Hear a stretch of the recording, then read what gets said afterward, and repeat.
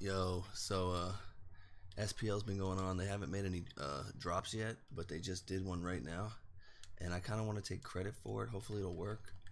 Um, PS4 and Xbox servers are working fine, but PC servers have been down, and so I just started spamming in the chat that uh, the servers were back up, and so one of the guys said uh, he's gonna drop a code, and for nobody to scream at him if the servers aren't working. So I definitely want to take credit for this one. Galaxy Quest, use it quickly because if the servers aren't working, they might uh, disable that code.